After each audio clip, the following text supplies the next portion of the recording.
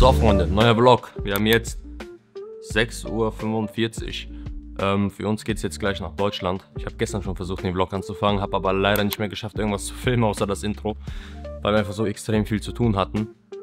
Ähm, ja, wir müssen auf jeden Fall nach Deutschland. Wir haben dort äh, ein paar Termine, die wir abklappern müssen. Ähm, unser Flieger geht um 14.40 Uhr. Ich lade jetzt gerade noch das eine YouTube-Video hoch, was ihr jetzt sehen werdet am Dienstag, beziehungsweise es wird schon hochgeladen sein, also schaut es euch an. Ähm, wenn du dieses Video siehst, wirst du reich, ist der Titel. Ähm, ja, und wir müssen eigentlich auch noch einen Podcast abfilmen. Aber es ist ein bisschen, sage ich mal, schwierig, auch vor allem ja, um diese Uhrzeit nochmal ein bisschen wieder zu Sinn zu kommen und dann auch sofort äh, produktive Gespräche zu führen und so weiter. Aber müssten wir eigentlich noch machen. Deswegen auch hier sofort ein Cold Brew tanken. Und ansonsten, Freunde, nehmen wir euch wieder mit. Wieder ein Business-Class-Flug ähm, nach Deutschland. Dann nehme ich euch mit zu den Terminen. Dann ballern wir wieder ein paar Autotalks und schauen einfach mal so, wie die Atmosphäre gerade in Deutschland ist. Und dann könnt ihr ja mal gucken, wie das hier gerade in Dubai ist. Also ich schaue gerade raus. Klimaanlage ist an. Wir haben wahrscheinlich, ich weiß nicht, 28, 29 Grad gerade. In Deutschland ist vielleicht, weiß ich nicht, 5 bis 10 Grad. Also wird schon heavy, aber hat auch seine Vorteile und deswegen, Freunde, schauen wir einfach so, was in diesem Vlog abgeht. Eine ganz übliche Work Week wie immer. Let's go. In dieser Situation. Ja. Ich sollte das Leben lieber schätzen. Wie, sage ich mal, unverantwortlich oder wie fahrlässig ist das, dass wir jetzt einfach hier, dass ich in einem Auto sitze mit jemandem, ähm, wo es einfach regnet und wir dann auf die Idee kommen mit einem, das war ein 600 PS Auto, dann da irgendwie Vollgas zu geben und so weiter. Warum habe ich nicht vorher gesagt, nein, Alter, mit mir fährst du so nicht beispielsweise? Oder, weil ich habe das ja selber, ich sage nicht, dass die Person schuld ist, aber ich habe ja selber, sage ich mal, meinen Beitrag dazu geleistet, weil ich ja selber auch dieser energische Typ war und das ja natürlich auch cool fand und so weiter. Aber dann in dem Moment habe ich dann realisiert, Digga, no, Digga, no fun and games. Das ist Reality. Ich wäre jetzt dead gewesen. So, Podcast-Clips habt ihr jetzt gesehen, haben wir aufgenommen. Äh, ja, bisschen schwierig morgens früh, aber ich denke mal, übelst nicer Talk geworden. Deswegen guckt den auf jeden Fall durch. Unconditional Belief, Beziehung und so weiter, Freunde. Wenig Zeit, wir müssen zum Flughafen. Hier, komm, ich schnell jetzt einmal durch. Oh, ich brauch gar nicht schneiden. Ich brauch gar nicht schneiden. Oh yeah. So, Freunde, wir sind kurz davor zu landen. Ich hätte euch gerne mitgenommen, euch ein paar Szenen gezeigt oder die Kamera hier aufgegangen und was auch immer. Ähm, aber wie ihr wahrscheinlich schon in der Instagram-Story gesehen habt, ist das kleine Vlog-Objektiv kaputt gegangen. Deswegen filme ich gerade auch mit dem 2470er. Also es ist ein riesen Klopper, also funktioniert auch wirklich schlecht dann. Ähm, ja, aber meistens ist es so, dass wir uns einen Film anschauen und ein bisschen chillen, einfach talken, bis das Essen kommt. Dann ist das Essen vorbei. Danach fangen wir an zu worken. Ich habe heute an der Ausarbeitung äh, von der Superior Life, sage ich mal, New Year Challenge gearbeitet. Also so gesehen das bestmögliche Fundament aufzubauen, um dann ins neue Jahr zu starten und dann komplett zu rasieren, weil die meisten Leute sind ja Neujahrsvorsätze und so weiter. Äh, bei uns fängt schon früher an, wie gesagt, diese ganze Challenge mit den äh, Regeln und was man gewinnen kann und so weiter, habe ich halt hier jetzt gerade ausgearbeitet, beziehungsweise habe ich angefangen auszuarbeiten. Und ja, das werden wir dann fertig machen. Vielleicht zeige ich euch ein bisschen davon oder erzähle euch noch mal ein bisschen davon. Aber so sieht es dann letztendlich aus. Wie ich auch schon vorher im Talk mal gesagt habe, Business Class einfach nice. Man kann entspannen, man kann arbeiten, kann alles tun, worauf man Bock hat. Geil gegessen, geiles Steak gehabt, richtig nice. Besser als in 80% der deutschen Restaurants. Deswegen ist schon heavy. Und ja, Freunde, so sieht's aus. Wir sind back in Germany. Wir haben hier viel Work zu tun, müssen ein paar Sachen erledigen. Und ja, ich würde euch sagen, dass ich euch einfach ja, die nächsten Tage einfach mal ein bisschen wieder mitnehme. Let's go. Nation Stand Zürich, achso ja, 2075.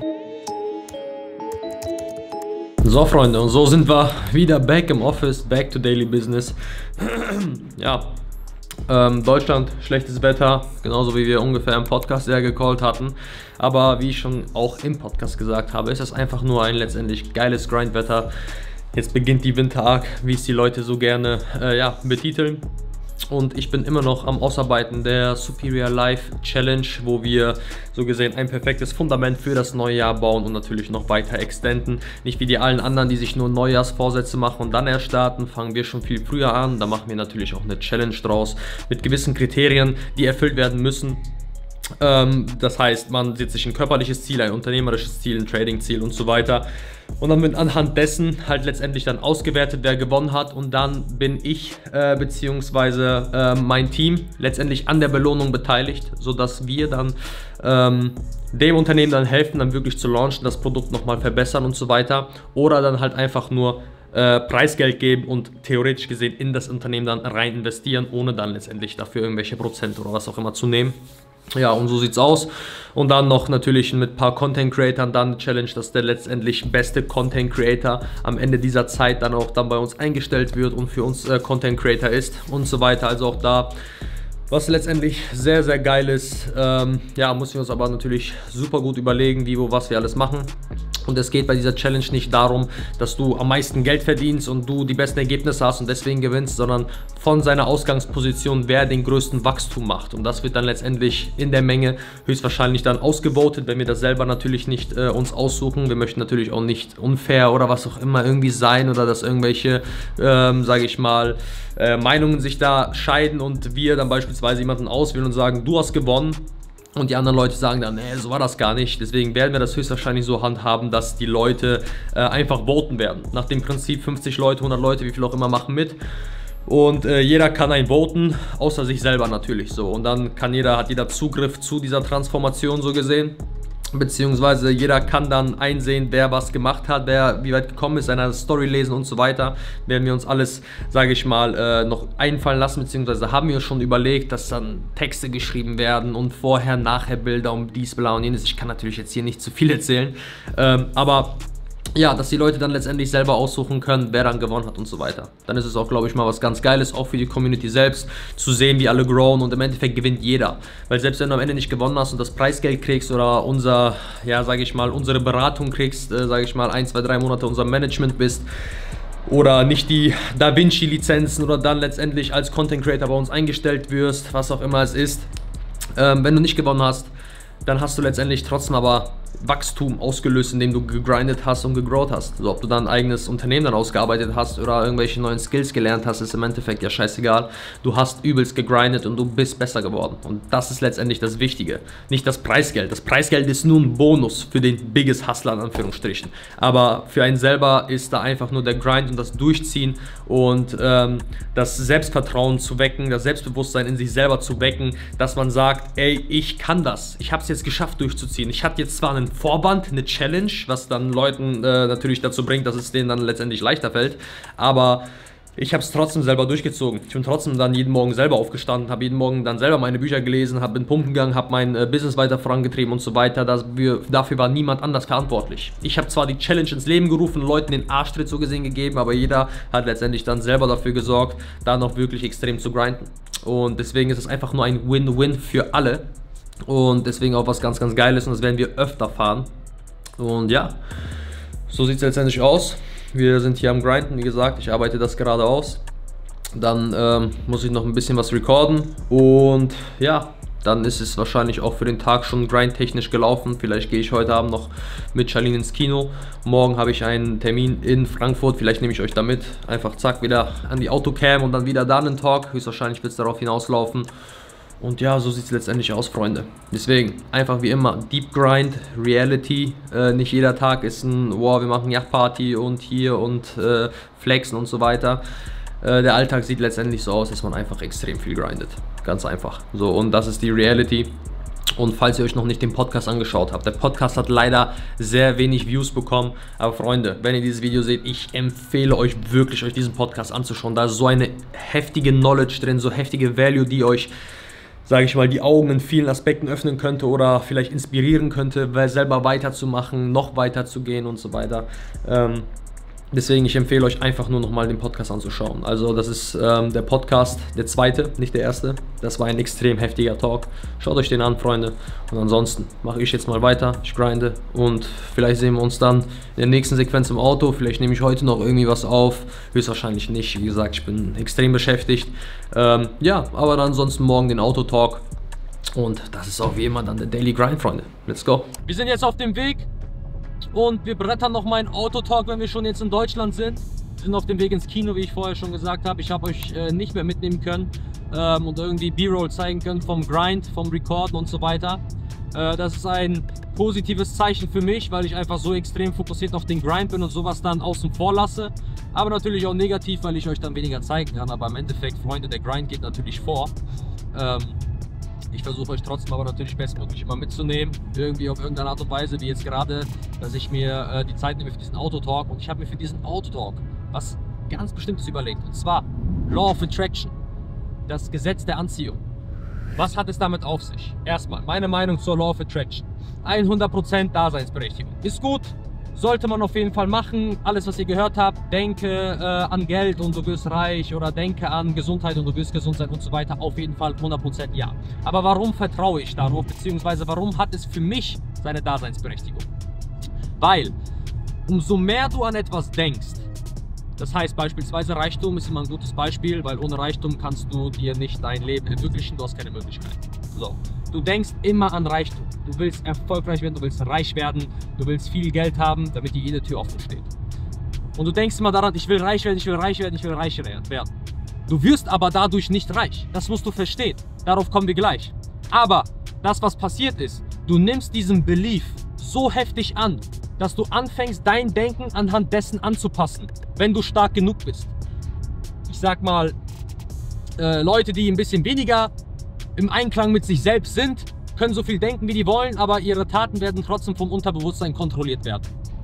Aber wenn du dir selber bewusst bist und immer daran denkst, wird dein Handeln anhand dessen ausgerichtet. Anhand dem, woran du natürlich denkst, was du dir vornimmst, was für ein Ziel du erreichen möchtest.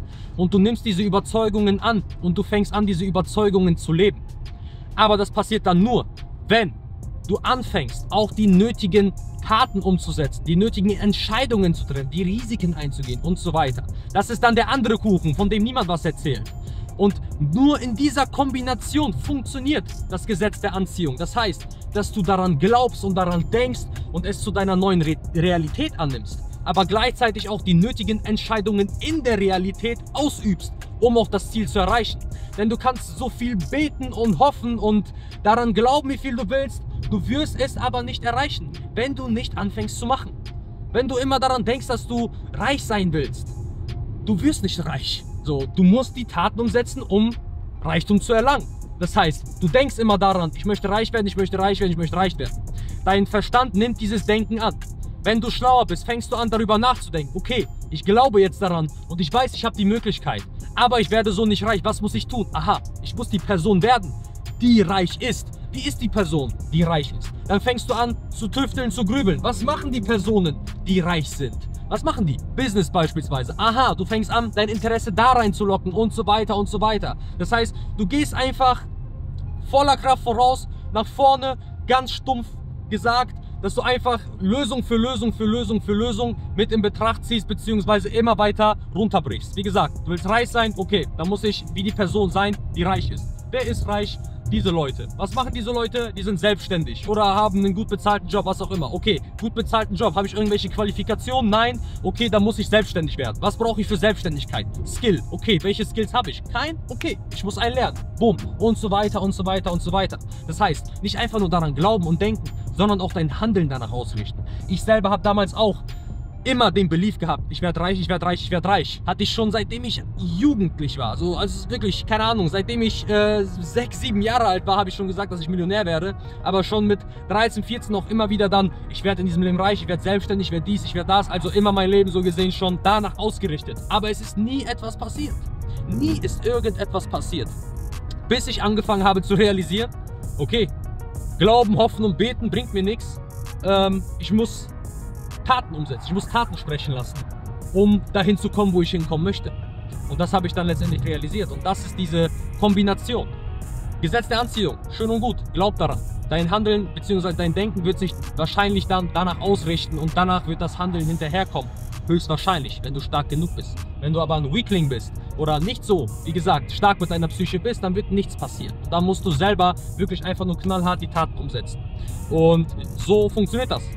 Wenn Leute euch erzählen, äh, glaubt und hofft daran und setzt euch hin und meditiert und ihr werdet erfolgreich, ähm, ja, dann, Leute, die wollen euch verarschen. Die wollen euch irgendeinen Kurs andrehen oder was auch immer und die euch am Ende dann, äh, ja, werdet ihr dann am Ende gescammt. So. Ich habe früher selber, wie gesagt, daran geglaubt und ich bin äh, jetzt der Überzeugung, dass es nicht so ist. Einfach ein super Beispiel, was man, ähm, womit man theoretisch gesehen das entkräften kann, wenn jemand sagt, ja, du musst einfach nur daran glauben und äh, dann äh, wirst du reich.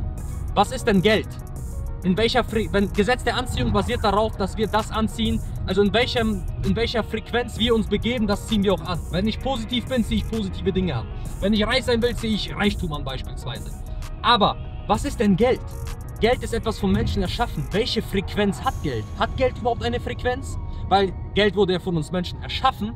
Dann gibt es ja ganz deep, so gesehen in der Nature, keine eigene Frequenz für Geld, was ich anziehen kann. Aber das, was ich anziehen kann, ist Glück, Gesundheit und dies und blau und jenes nach dem Motto äh, Placebo. Wenn ich mir selber einrede, ich bin gesund, dann äh, denkt mein Körper auch, dass er gesund ist, beziehungsweise tut alles dafür, dass man gesund ist. Das kannst du machen, ja, aber solche Sachen wie Geld oder sowas nicht. Aber wie du Geld und Reichtum so gesehen manifestieren kannst, ist, indem du daran glaubst, dass du in einer bestimmten Fähigkeit einfach extrem, extrem gut wirst. Das heißt beispielsweise, du nimmst dir vor, du willst ein Verkäufer werden. Dann entwickle den Belief, der beste Verkäufer zu sein. Und dann wirst du der beste Verkäufer, weil du nimmst dieses Leben an. Du lebst diese Rolle. Du bildest dich weiter. Du triffst die Entscheidungen, die notwendig sind. Du, du übst das aus, was notwendig ist und so weiter. Und dann wirst du ein guter Verkäufer. Und weil du ein guter Verkäufer bist, wirst du dann Geld haben. Und Verkäufer sein, wird jetzt jemand sagen, was ist denn Verkäufer sein für eine Frequenz? Ist auch keine Frequenz. Aber was sind denn, was ist denn notwendig, um verkaufen zu können? Gut mit dem Mund umgehen, das was von uns Menschen gegeben ist. Also beispielsweise gut zu sprechen, sich gut zu präsentieren, eine gute Energie zu haben, gute Aura, gute Stimme und so weiter. Das alles, was menschlich ist und das kannst du entwickeln und besser werden. Und dann nimmst du diesen Skill so gesehen an. Du hast den Belief, ich werde der beste Verkäufer und du nimmst alles an und du wirst es, weil du es dann lebst und dann wirst du erst reich. Das heißt, du musst theoretisch gesehen eine Fähigkeit manifestieren oder beziehungsweise an eine Fähigkeit glauben, die du meisterst, damit du am Ende damit dann das Geld verdienst. Aber wie gesagt, kannst du viel glauben, wie du willst, dass du ein erfolgreicher Verkäufer wirst oder dies und bla und jenes. Du wirst aber trotzdem nicht erfolgreich, wenn du nicht die Taten umsetzt. Wie gesagt, einfach nur daran glauben, reicht nicht. Macht, Freunde. Und das ist die Message, die spreade. Mach, mach, mach. The magic you're searching for is lying in the work you're avoiding. Das ist die Magie, die du suchst, oder beziehungsweise nach dem Glück, nachdem das Glück, nach dem du suchst, liegt in der Arbeit, die du versuchst zu vermeiden. Also, du kommst nicht daran vorbei. Hard work, grind, so oder so, all day, all night. Und so sieht's aus, Freunde. Und ich denke mal, das war's für den Vlog. Hast du noch irgendwas hinzuzufügen? Ja, vielleicht noch mit der Challenge, wie das äh, verknüpfbar mit der Challenge ist.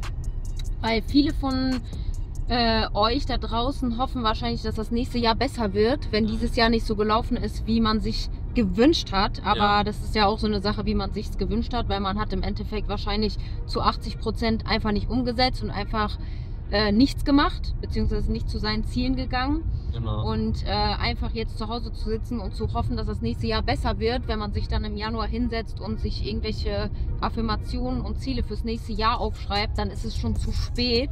Genau. Und genau deswegen äh, sollte man das jetzt schon in sein Hirn reinprügeln, Genau. ähm, dass sich nichts verändern wird, wenn du es dir einfach nur sagst, dass du etwas verändern möchtest, beziehungsweise dass das deine Affirmationen sind. Das wird dich nicht weiterbringen und das Richtig. nächste Jahr wird dann höchstwahrscheinlich genauso aussehen wie das diesjährige. Genau.